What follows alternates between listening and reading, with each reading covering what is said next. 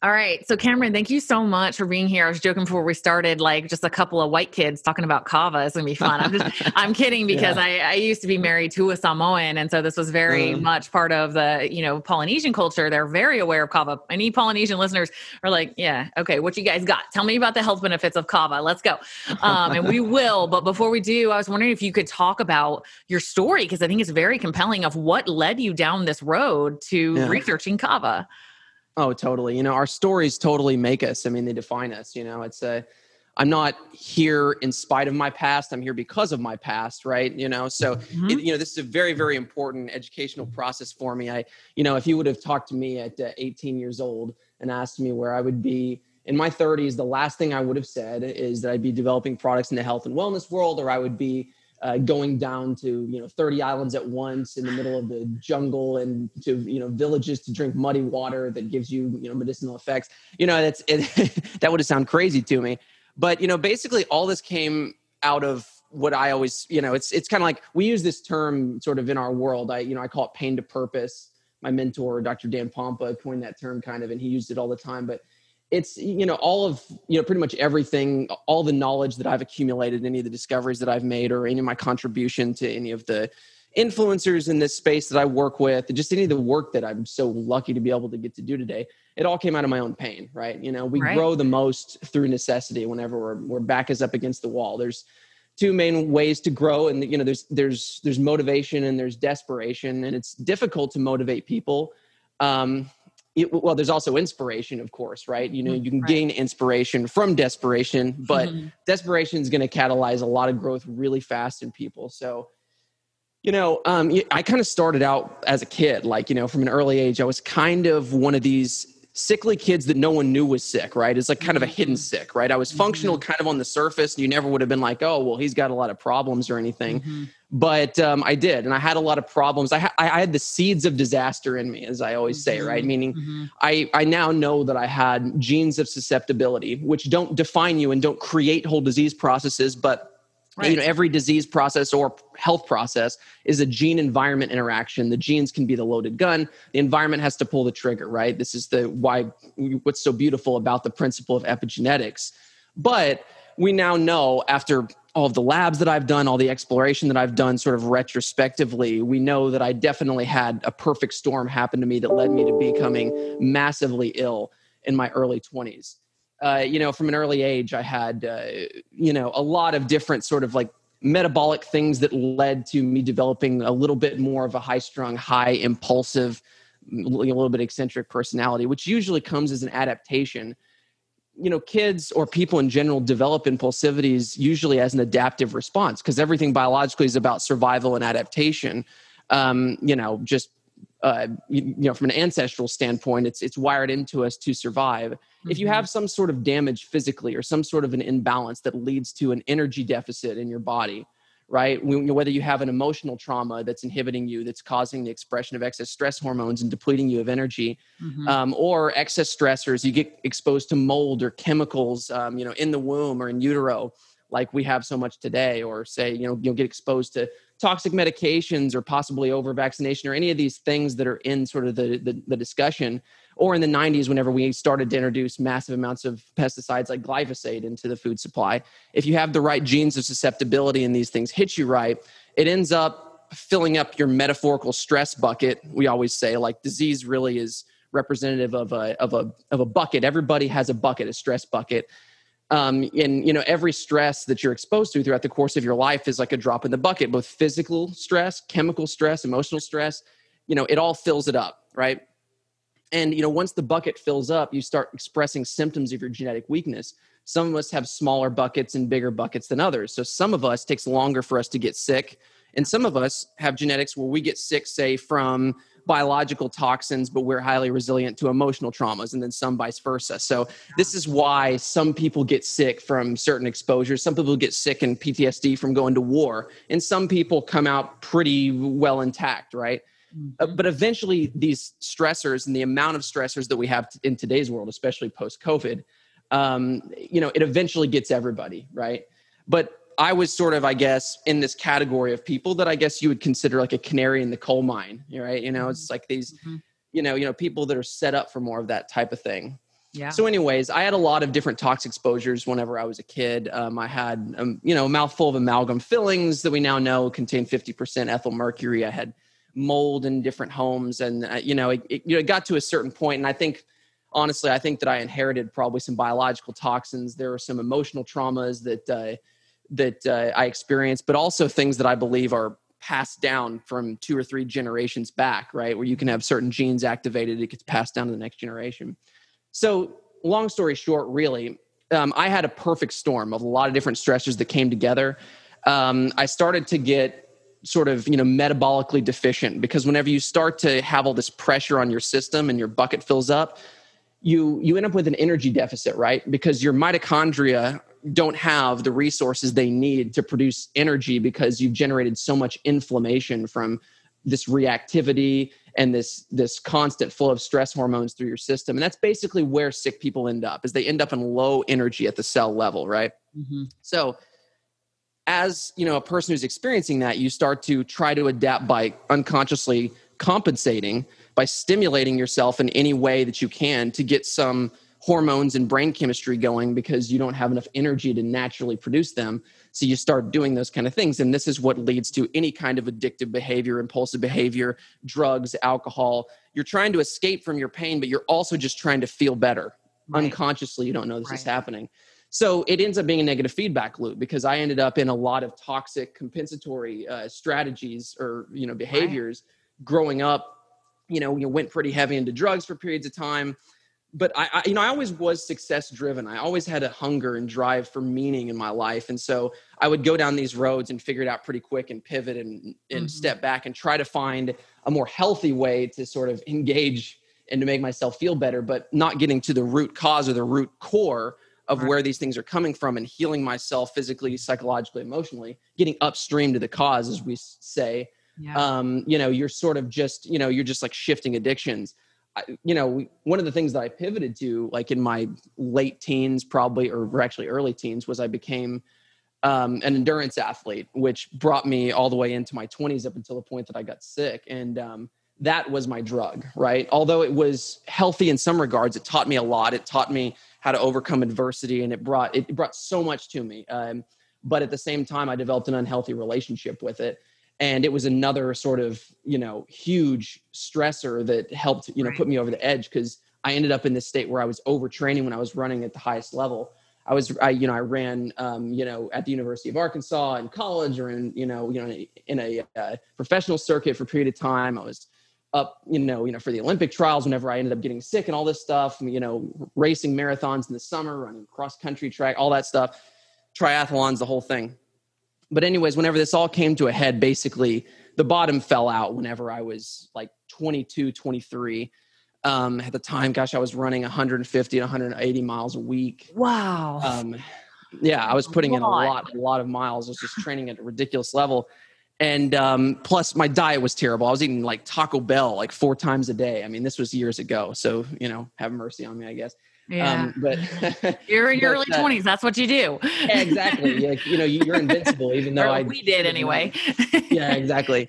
So, anyways, so the bottom falls out. I don't know what's going on, right? I mean, I'm I'm a rel- mm. reasonably intelligent guy at the time, and I'm resourceful, but I've still been indoctrinated into that model of if you're sick, you know, someone else is going to fix you, right? Like I couldn't possibly know anything that my family doctor down the street mm. doesn't Mm. And I wasn't taught anything about how to upkeep this thing, this body vessel that we've all yeah. been given, right? Yeah. I wasn't taught. It's like, how do we actually generate strength? How do we actually generate more energy? How do we actually right. do that?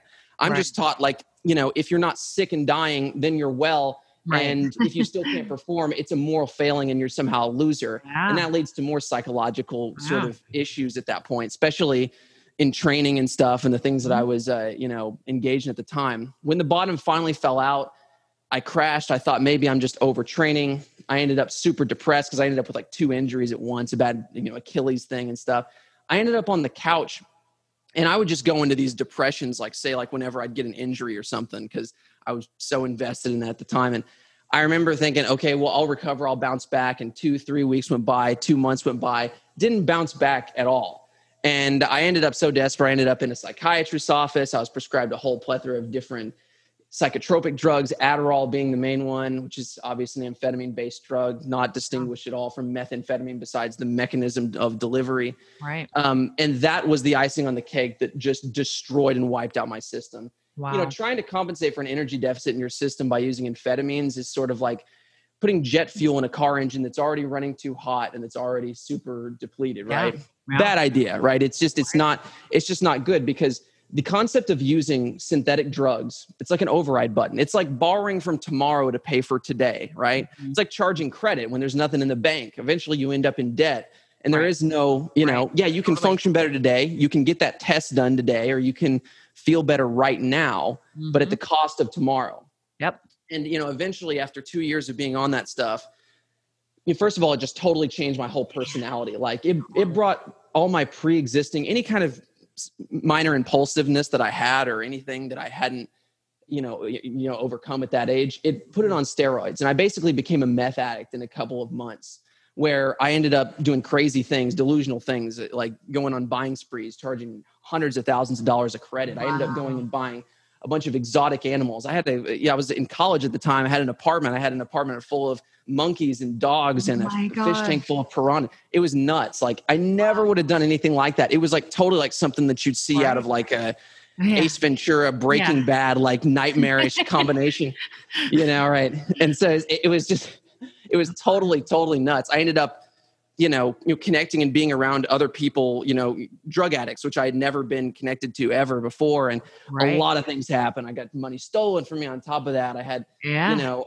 all this stuff that you know that I had charged in loans and everything, and I was going. I drug addict sleeping on my floor like a nightmare. you were on the same vibration as them. You were on the you your vibe attracts your tribe. That's all that's Absolutely. happening. that law of attraction. It's that collective Yeah. energy thing. It's like Wow. you're putting it out. Boom, you're there, Mm-hmm. and you're in that alternate reality with them. It's like you Mhm. know, and when you're in it, you can't see outside of it. But the reason why that's so important, even to this story, is because I've been down the road of pharmaceutical drugs, and I understand the principles on how they work in the body. And there are application for synthetic pharmaceutical drugs in short-term acute traumatic situations. Obviously, there's a time and a place for an antibiotic. Obviously, there's Mhm. a time and a place for general anesthesia, right? Whenever you Right. have totally. if if, you know, if I get hit by a car, I don't want the essential oils and Right. and, um, and right. right. It's like I'd love to be taken to the hospital and you know you know give me the morphine.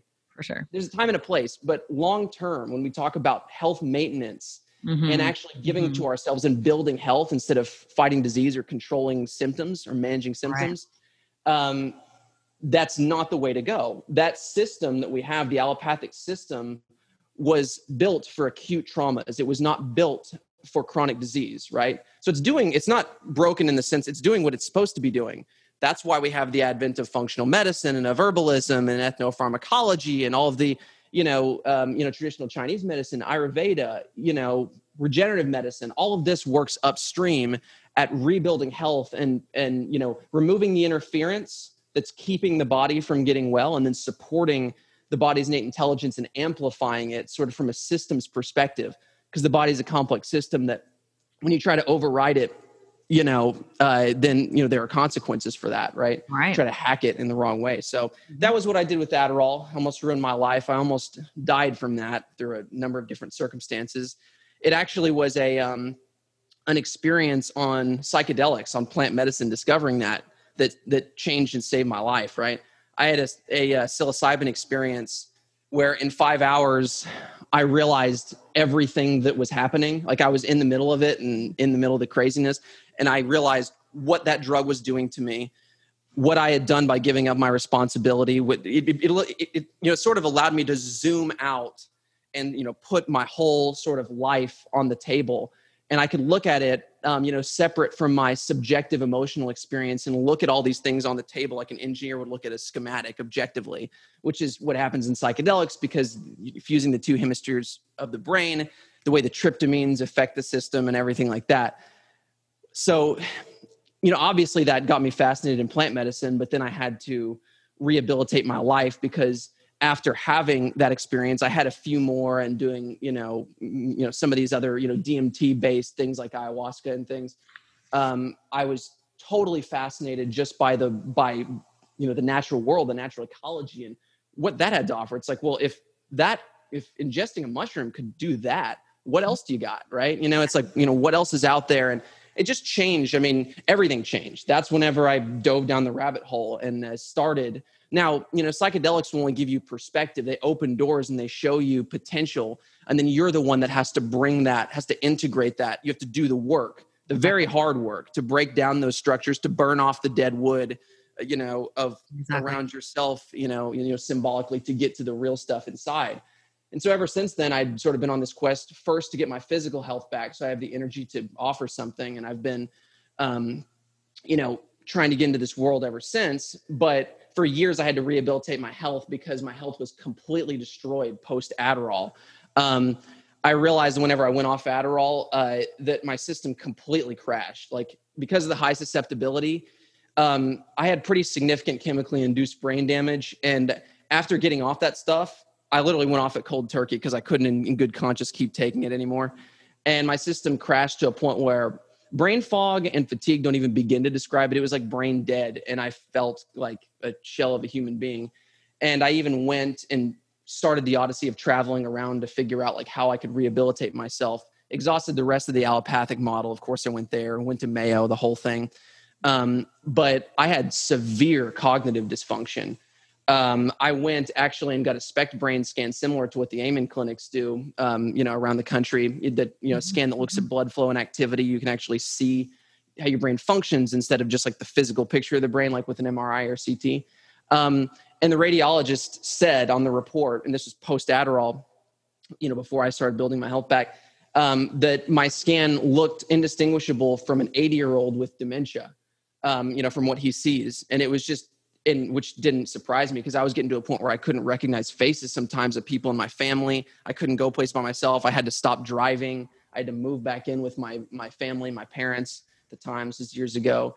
So it, you know, it was a disaster. And aside from that, I had severe depression, severe anxiety because I had no brain chemistry. Like my whole brain metabolism was shot my endocrine right. system was shot my gut was destroyed. Wow. it just had this breakdown of everything in my body from the drugs but plus all the other things i was exposed to during that toxic slew that i had. But i did have perspective though from my my psychedelic experiences which was all i needed. So i basically used every bit of energy that i had left um, to just do nothing but scour medical and scientific literature for a number of years after that traveled around everywhere, went engaged in medical tourism, treatments, therapies, modalities, talked to doctors, researchers, scientists, and just scoured the, the globe for any and every answer and systems I could get myself well, which I didn't at first. I was rapidly deteriorating for a couple years and was kind of trying shotgun approaches of one therapy here and there and everywhere because it's not like just doing things um, you know it's like it's like you know a house is made of bricks but a pile of bricks is not a house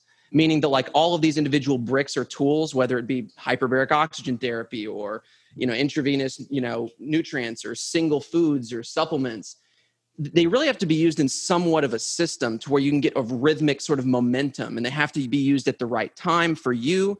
And you don't have to get it perfect, but you can gather enough data where you can dial it in for you through self quantification of testing, lab testing that we have.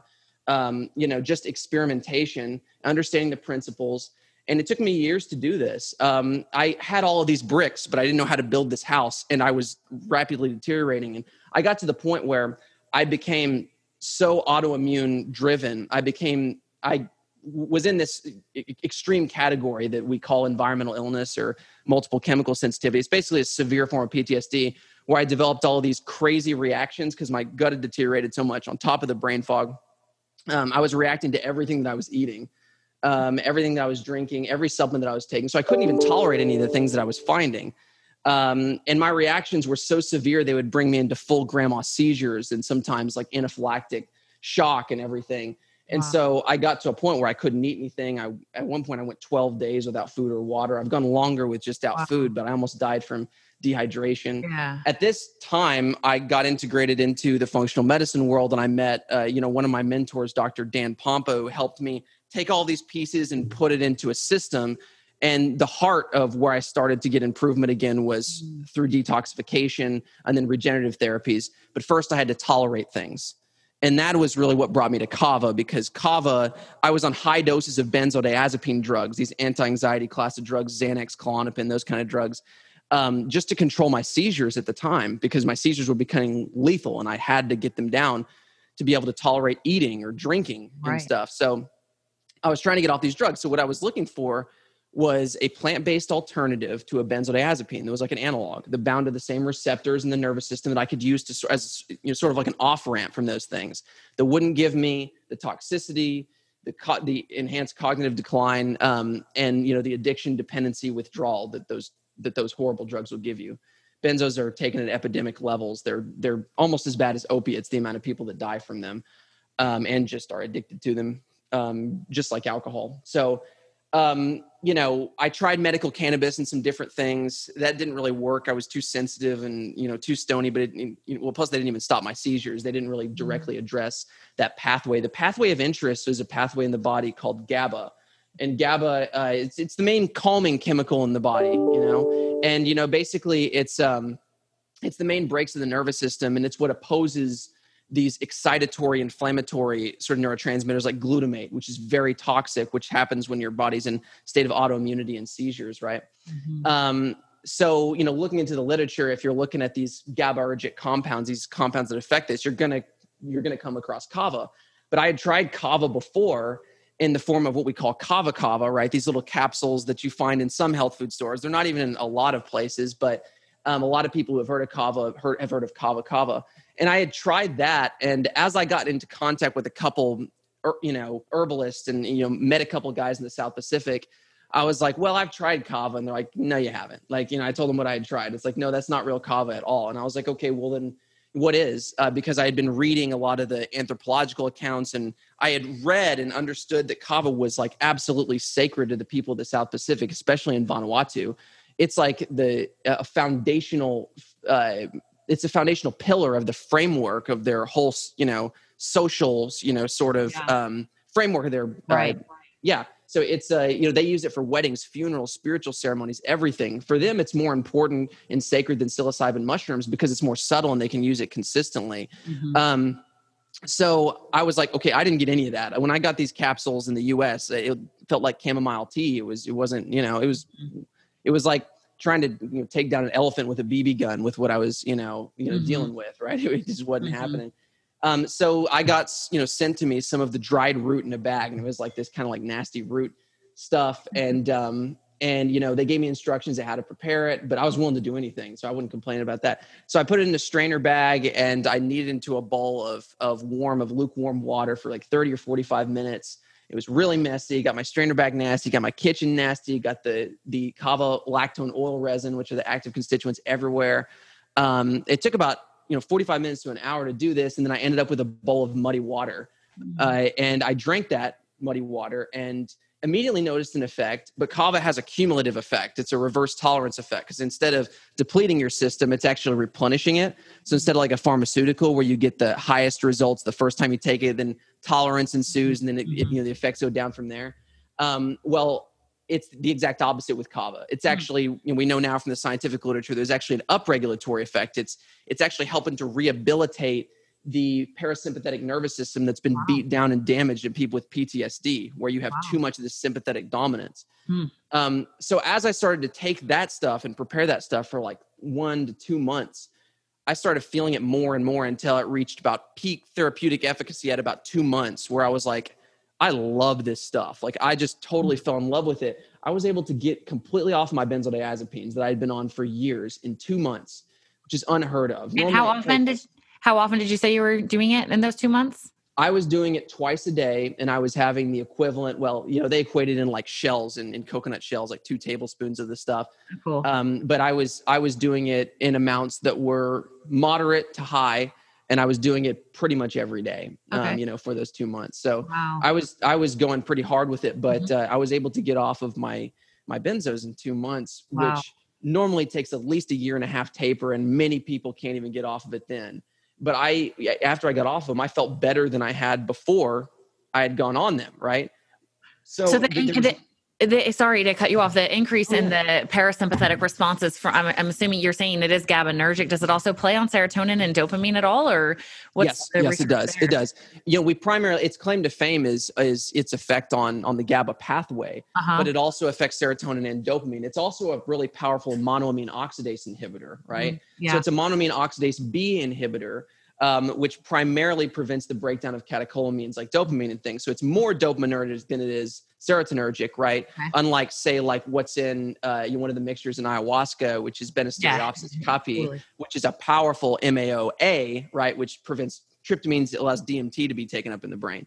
Right. Um, this is is it's a powerful monoamine oxidase inhibitor, but it's a complex medicine. It has a vast array of active constituents that all work synergistically instead of like one molecule, like in a benzo, that has a very linear function that the whole system freaks out and thinks that it has to compensate and shut down that system because something is doing something where it just releases and uses up all of your GABA stores. And then the system yeah. shuts it down further because right. it says we've got right. too much. Right. It's not biologically compatible because um, you know, the, the plant is a biological organism that comes from our natural ecology, and we are biological organisms that come from our natural ecology. We're like the mm-hmm. apple on the tree. We extended out of this world. We don't reign over it. We're not individual. We're, we're a part of an integrated living mm-hmm. system, right? Sort of like the Gaian principle, right? Mm-hmm. And you, you kind of realize that, or you have that feeling generally whenever you take something like ayahuasca or psilocybin or even right. kava kava is a very subtle entheogen that doesn't that you can actually take and maintain your sobriety. It's more of the background psychological thing and that effect accumulates over time with long-term use. It's very subtle. Wow, if, very if psilocybin shouts a message to you kava whispers it. Sometimes the best medicine is the one that very subtly does these things because anyone can tolerate that. Not everyone can tolerate psilocybin or DMT. So it's well known in the South Pacific that not only does kava have amazing therapeutic application hmm. physiologically, but it it helps to develop a person psychologically and helps it's medicine for for you psychologically and emotionally over time because it helps balance the limbic system it helps connect two parts of the brain very slowly and mm-hmm. allows you to be able to think more introspectively in a more complex mm-hmm. manner, almost like microdosing. Right, right. I compare it to microdosing, but without the legal issues and without the tolerance issues you can get from microdosing. Interesting. Because the microdosing, you know, psilocybin, if you've ever tried to take psilocybin yeah. or LSD or any of those back to back, tolerance ensues really quickly. It's a problem. Right. Kava, it's the exact opposite. Wow. So it's, you know, we have multiple different forms that that we work with and you know the products that I develop. Some like the oil that's very subtle for anyone to tolerate, even kids. Some like the drink line that we're working with that is can stand up to alcohol as far as its potency, but without the drunkenness, addiction. Mm-hmm. You don't become a different person. You become more of who you are. You know, you really can connect with people in a very social way instead of like you know whenever you drink alcohol you kind of become a little bit more primitive the more you drink past a certain point right it's like right. conversation doesn't get deep after a certain point it just gets kind of stupid right. um, you know, kava is like the depth really really comes out just like if you were in an entheogenic uh, you know you know yeah. gathering people but you're still sober. It's like it's it's like this perfect range. It's like there's really nothing like it. That's one reason why it's so sacred yeah. Wow. Okay. So on the on the neurotransmitter talk, because that's um, if you know my clients and people know that's that's definitely an area of interest for me. Are you? If, I feel like you're almost describing like a an, an adaptogen, a, adaptogenic effect for GABA. Like it's not going to like spill you so far over that you're like now your body is like like if people do MDMA, that can be very healing for them. That's mm-hmm. not a mm-hmm. plant, but it can be because of that serotonin rush. They get into this very mm-hmm. empathetic, mm-hmm. healing, loving space, but they kind of have to pay for it on the back end yeah. because their their body says, "Whoa, don't make so much serotonin." Like apparently we have way too much, and then you have two days of like being kind of down, right? And so you're saying that doesn't happen with kava that with that that gap the body is not saying whoa whoa whoa whoa whoa too much gaba down regulate down regulate you're saying it mm-hmm. just increases a healthy gaba level is what you guys have found or that's exactly right. And that's what we see in the scientific literature. That's what the indigenous people, they don't describe it in that way in terms of GABA and biochemistry, but they describe it in a way yeah. of it giving and rehabilitating the system while modulating and balancing it. It sort of cool. it sort of yeah. comes in and it's sort of like, you know, it's it's sort of wraps this warm blanket around you and helps to just sort of rehabilitate Beautiful. on every level. But like, you know, with MDMA, yes, you know, you can get that, but it's like you're spending your serotonin currency right. in order to get that effect, you know? Yeah, so it's kind of like the Adderall thing a little yeah. bit in, in some sort exactly. of way because it is an amphetamine. So it is that, yeah. it does have that effect. Um, although I, am a huge fan of MDMA for therapeutic, yes. acute, kind of like the when exactly. you, you, broke your leg and you need to go in the Targeted hospital get get fixed. Those yeah. psychedelics, like the powerful tryptamines, whether it be MDMA, mm-hmm. DMT, mm-hmm. psilocybin, LSD, um, you know, mescaline, peyote, any of those. Well, that's actually phenylethylamine, peyote, and uh, mescaline, um, but it's it's a similar effect. But anyways, they all of those are tremendous for very intentional acute administration. They are not tonic right. herbs. right totally you know I, for a lot right. of reasons right it's a double-edged sword this it's like a hammer you can build a house with it or you can hit yourself in the face with it they're very powerful tools kava right. has a different application kava is like that thing that you could use either in place of if someone just doesn't have the framework where they can handle right. that if they're past a certain age if that that would turn right. their world upside down it's too much right. it's a way of like subtly getting those messages yeah. in and allowing people Beautiful. to change their psyche over time but it also is a tool that can be used kind of like microdosing where you could use kava in between your more powerful psychedelic sessions to kind of keep those thoughts going because a lot of times people like you know for microdosing you know how you have a powerful psychedelic experience you're there and then over a period of time you never totally lose it but you kind of get disconnected and then you do it again you're like right. oh we're back oh wow right. this is what it is again so yeah you'll have that experience yeah only a certain group of people know exactly what I'm talking about. Yeah, that, and I'm very thank you for being open. I'm very open about this, and I yeah. I will yeah. never ever shame what has been the most powerful healing. I mean, if you guys aren't watching on YouTube, if you are watching YouTube, you may have noticed me starting to cry when he was talking about his psilocybin um, healing journey because that is what it has been for me and so many others. So I will mm. never like I'm not going to like take something that has been so profoundly healing in my life and like have shame about it. Sorry, not and sorry. these things are things so, to be taken very seriously. Very We're seriously. talking about you know you know the yeah. more powerful ones. You know Kava. That's what's so great about it, is you can use it and not have to worry about this. Right, right. But, you know you know these things are done intentionally and they're done right specifically you know under responsible circumstances. Right. With these guides. are not. Yeah. right. You know if you if you try to mess around with these things, it will it will oh yeah it can they will do what they want with you right you really mm-hmm. don't and it, it, can end up in a bad circumstance or pretty disastrous right that's you know? what yeah that's why i'm a huge fan of Rythmia in costa rica if yeah. anybody wanted to do it's a medically licensed facility it's a safe space it's mm. legal all of those things so if you're th- listening to this like what what are they talking about like i would you know if you want to ayahuasca i would maybe consider like the whoa like going from zero to a million um ayahuasca is a wonderful teacher but it is a pretty intense experience but yeah. i appreciate appreciate that Rythmia has created a medically licensed facility where people can experience such things. So that's my one like very safe resource. I feel like you're in good hands on something like that. But yeah, I definitely, if you are going to have an experience like this, like going the route of very experienced guides is the way I yeah. would recommend. well, and something like, yeah, no, exactly. Yes. And Rythmia is a fantastic place. Something like Kava is is something that has been used and is really really famous for being able to give you that sort of like if you've had those experiences before, you don't have to keep having them all the time. And some nope. people may say, okay, you know, you know, once in my life, or some people may feel yeah, called definitely. to go back periodically to really go deep. But Kava is one of those things that you can revisit that headspace and reopen those doors of everything that you've mm-hmm. already released during those experiences, mm-hmm. where you kind of average everyday waking consciousness wants to protect you from that. Right. Because average everyday waking consciousness wants to it's it's just as much about blocking out excess stimulus as it is about you know right. seeing and sensing things blocking out most of everything right survival right? right? yes exactly it's it's it's giving you only what you need for immediate survival which is important because if you were to be in that state all the time right. you couldn't do anything because you'd just be in a state of astonishment and confusion and too much right yeah. so you know kava is one of those ways that you can kind of it's a lot easier to get back to a place once you've already been there hmm. and hmm. what what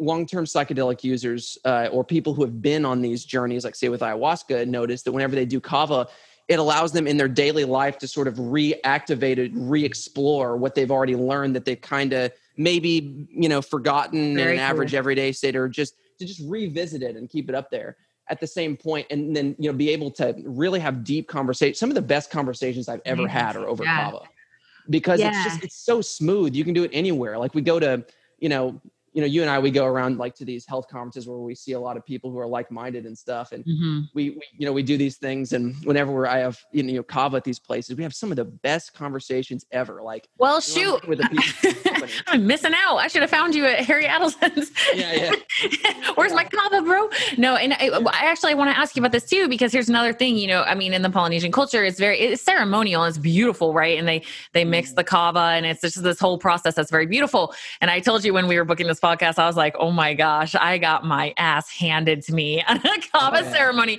one time because I was trying to like show off as like the big girl, put my big girl pants on, like, look how much kava I can handle. And I totally threw up the next day. It was like so much freaking kava. So, even though it, it's not like horrible if you do kava traditionally you know it is kind of like dirt water i'll be honest that's kind of what it tastes like is a, a little bit numbing even i felt like a teeny yeah. bit my oh, mouth yeah. but so how are what is your delivery like on on yes so this is very important because the two main deterrents with kava as amazing and sacred as it is and as popular it is if you give it a chance for long enough you yeah. know most people fall in love with it even despite right. the taste but the right. main two deterrents are the are the time spent in preparation and just the taste. Yeah. And some of the side effects that you can get if you don't drink the right strains. Because just like with cannabis, there's two, over 200 different strains of kava. Some are more daytime, some are more nighttime, right? Some are more heavy in the body, some are more heady and nootropic and, and mm-hmm. activate that creativity, introspective thinking. And some are a good balance of all those things, right? Mm. But some strains are specifically dialed in and have been for thousands of years to express far lower amounts of certain um, plant defense alkaloids and toxins, mm. not necessarily toxins, but just you know irritative compounds that are in the more wild versions of the plant that the plant yeah. uses to defend itself from pests.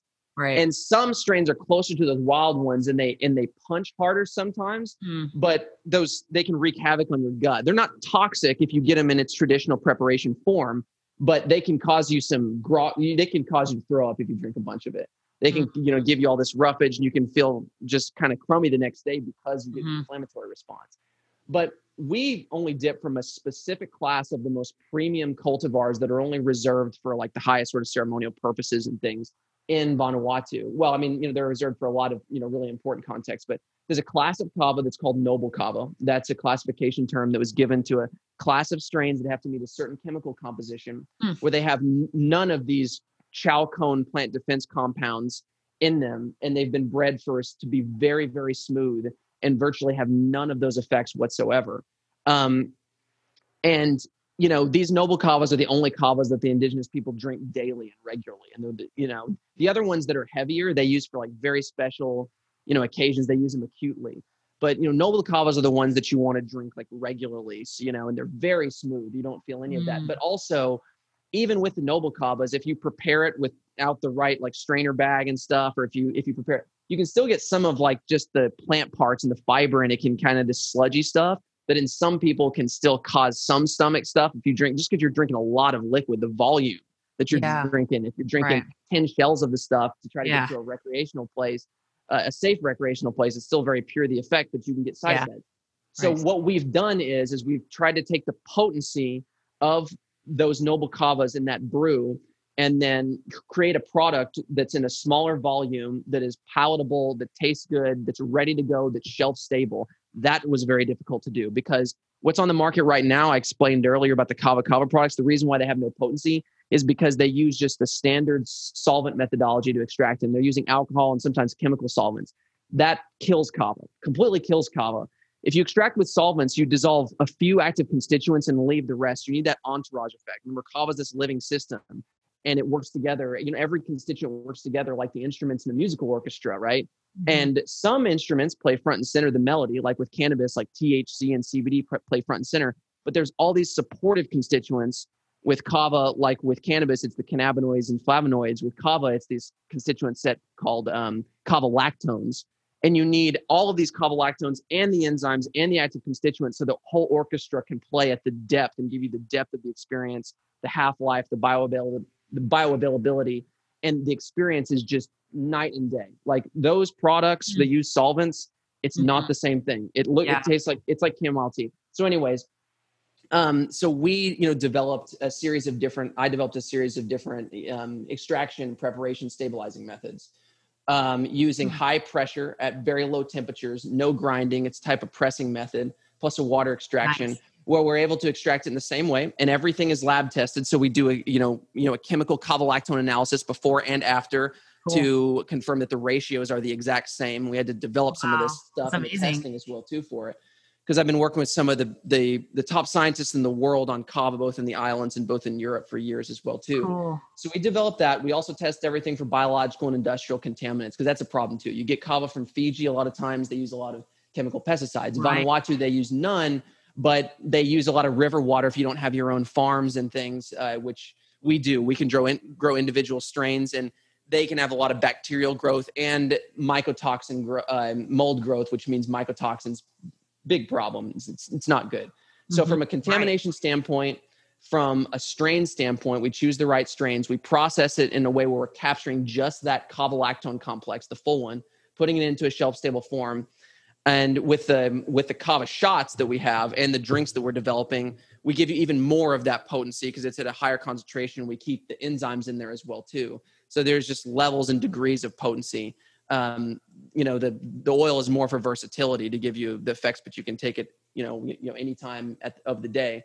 But um, then we also make sure that we're getting 100% root material because the above ground aerial parts of kava right? So this is a kava plant right here. It's got these beautiful heart shaped leaves but those leaves actually have really high levels of actually really toxic defense alkaloids in them right? The roots have these irritative compounds certain strains but these things you're not supposed to consume. There are many plants in nature that there are certain parts of them, like rhubarb. If you eat a certain part of the plant, it can very, you know, seriously harm you. If you eat another part, you can make a great pie. You know, right. if you eat the seeds of an apple, there are trace amounts of cyanide in there. So there, there are many mushrooms that you can eat that'll kill you. Others that right. are medicine. Right. So it's very important we get the right parts. Um, a lot of times, most of the kava out there, a lot of it has these snuck in because these still have kavalactones in them and they want to use everything. They want to save money. It's cheaper material. Um, but you can have something that's not potentially safe. And if you extract it with solvents, you concentrate those alkaloids mm. and you mm. end up with a situation like happened in Europe in the early 2000s where a pharmaceutical company did that to try to make a drug that didn't adhere to the traditional methodologies just like most of the science trolls out there that that right. you know that that they think that they know more uh, than the indigenous people, which they know how to you know do things obviously in the laboratory scientifically. But they did that. They created a product that was toxic by getting you know toxic parts of the plant. They hurt a collection of people, ended up with liver toxicity, and it, and mm. then they get, it got highly publicized. And then this whole belief right. about kava and liver toxicity, which is completely false. Right. if you actually get kava, those yeah. products, the kava kava products, are not by definition kava Kava is the water and pressure extracted drink or substance from the roots of Piper methysticum, right?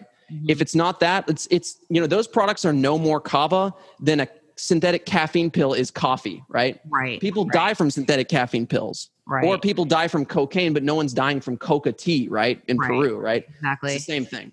Right. Yeah. So, well said.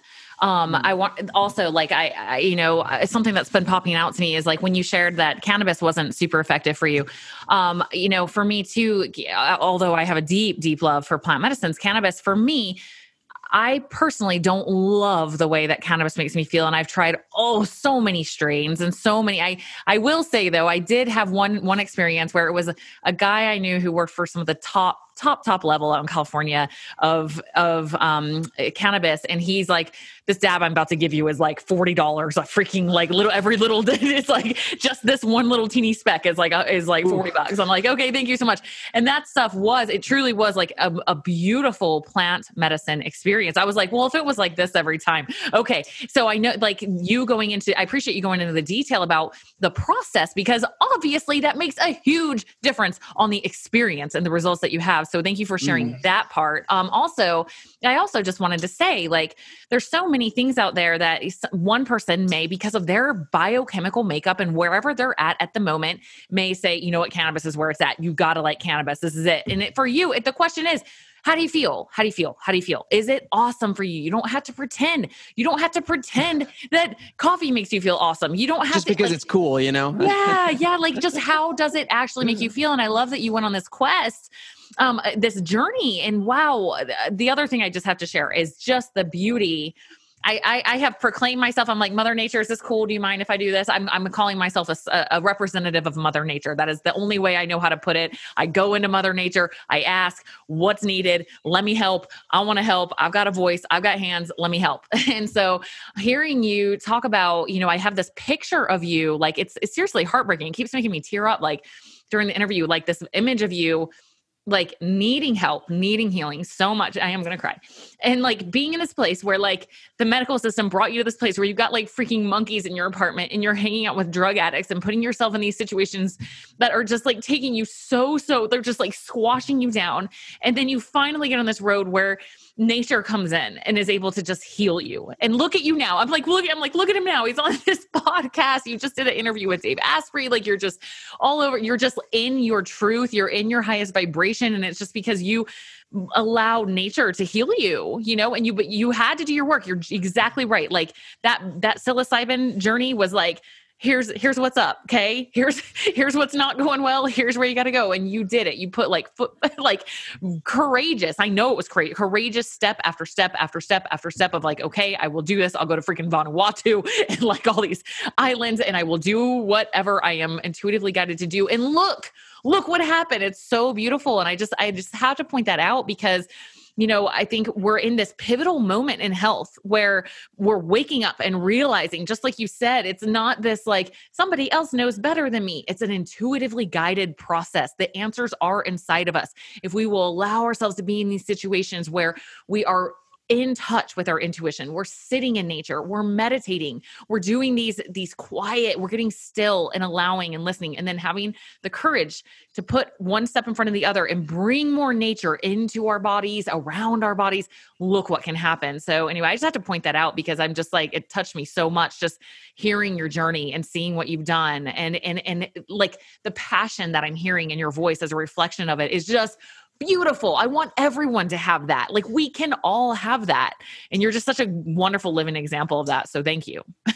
yeah, and you hit it you hit it right on the head and thank you so much for saying that because this is just uh it's been you know, I couldn't even put into words how profoundly amazing, terrifying, intense, yeah. insane this whole journey has been, but you know, you know, I realized, you know, throughout this process, and I've come to this realization multiple times in my life, that the pursuit of happiness is the wrong pursuit in the sense happiness being pleasure. I don't believe happiness is pleasure. I believe happiness is fulfillment. And i believe it comes from pursuing meaning.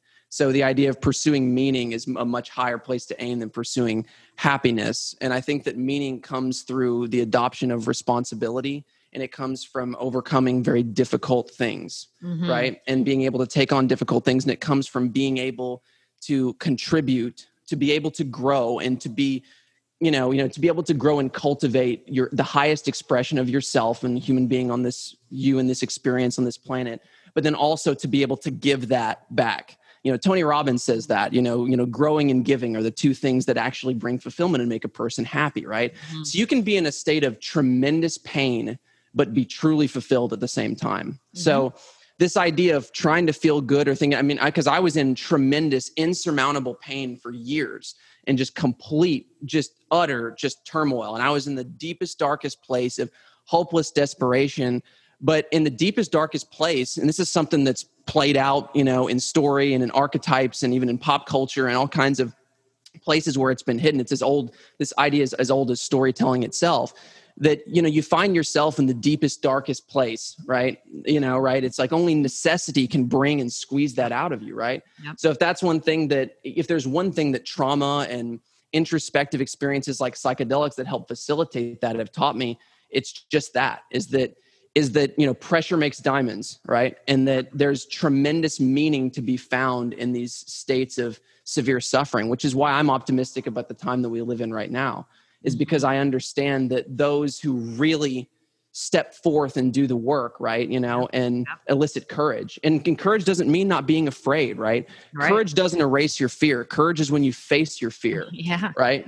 Yep. You know, and uh, you, and you'll do it. Do yes. Yeah. and and I you know I believe that in these deepest, darkest states where you're really squeezed and you're in the back corner and you have the right circumstances in place, if you just can surrender to that whole process and look internally, turn the mirror on yourself, then you'll find that yeah. you and everyone have a profound subset of internal wisdom yeah. that mm-hmm. is inside of you that's inside of all us we're all just kind of like the apples in the tree we're the expressions of that and yes we have all these layers and we're monkeys walking around kind of right. and we're biological organisms and all this stuff but at the core at the highest expression of ourselves is a level of just infinite profound wisdom yeah. and that's really what any self-help expert um, you know, you, you know, any psychotherapist or, or doctor who's trying to help you or guide you, or any teacher is trying to help you dissolve those boundaries because only you can do it. When you ad- adopt the responsibility and you get that perspective, you find that inside of you, and then you step up and you take that responsibility, then you you start to you know become you put yourself and you connect with that internal you that it starts to feed back to you that law of attraction thing that we talked before where it's it creates this sort of synchronicity turbine that i call it where it's like you start connecting with aspects of your environment and they draw to you and then there's just this acceleration this expansion and then and then it's exponential.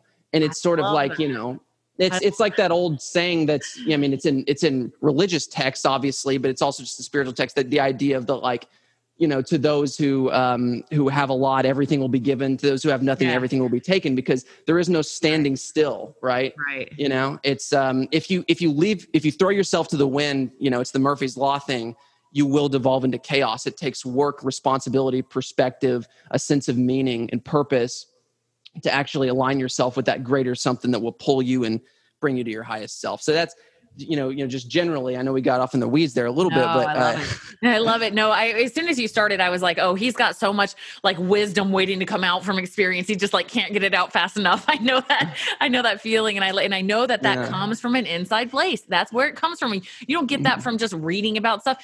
You read about stuff, and it hits, it touches a chord of something that you've already touched on from the inside, and you're like, ah, truth. I identify it. So everything's coming from the inside out, and I I love that you called it a synchronicity turbine. I had to write that down because that is exactly what it feels like. I call it the magical carpet ride, right? I'm like, if you're yeah. willing to take this, it's, I mean, as cheesy as it sounds, it's like when Aladdin's like, do you trust me? And that yeah. is the universe. And, and, and Jasmine said yes. And she got to go on that freaking amazing carpet ride. And there's ups and there's downs and it's scary, but it's freaking awesome. It's freaking and awesome. What you'll find on the other side of that, whenever you do surrender to that, just like in that archetype there and the Aladdin archetype there, yeah. is that there is a whole nother world. There is a whole new world outside yeah. of what you thought. And it's beautiful right. and it's amazing. And it can be infinitely as good as it can be infinitely as bad, right?